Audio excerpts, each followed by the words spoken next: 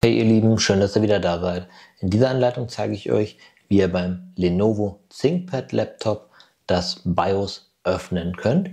Ja, ihr drückt dazu einmal hier die F1-Taste, haltet diese gedrückt, schaltet das Laptop oder das ThinkPad ein und jetzt lasst ihr die F1-Taste so lange gedrückt, bis er gleich piept und auf dem Display eine Anzeige erscheint.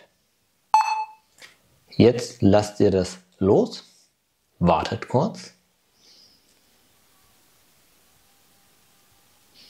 So, jetzt könnt ihr hier, wenn kein Passwort hinterlegt ist, was im Standardfall nicht der Fall ist, einmal auf Continue gehen für Fortfahren und dann wird das BIOS hier jetzt entsprechend geöffnet.